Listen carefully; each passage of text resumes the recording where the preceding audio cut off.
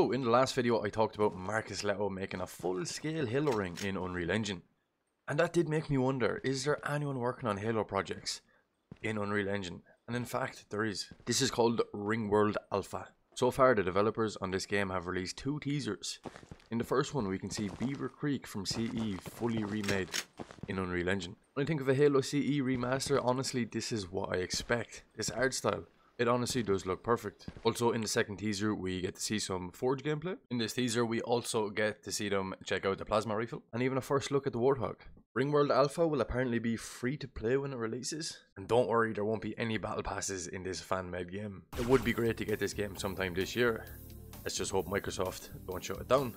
Make sure to follow these guys on Twitter. Their handle is Ringworld Alpha. And if you know of any more side projects like this that people are currently developing, please do send them on to me. That's all for now, folks. I will talk to you in the next one.